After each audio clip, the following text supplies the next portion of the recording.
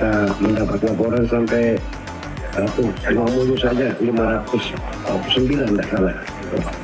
Ini kita akan beramal lagi dan ini wujud ketundukan kita, kepatuhan kita kepada Allah Subhanahu Wa Taala dan semata-mata kita mengharapkan itu Allah Subhanahu Wa Taala.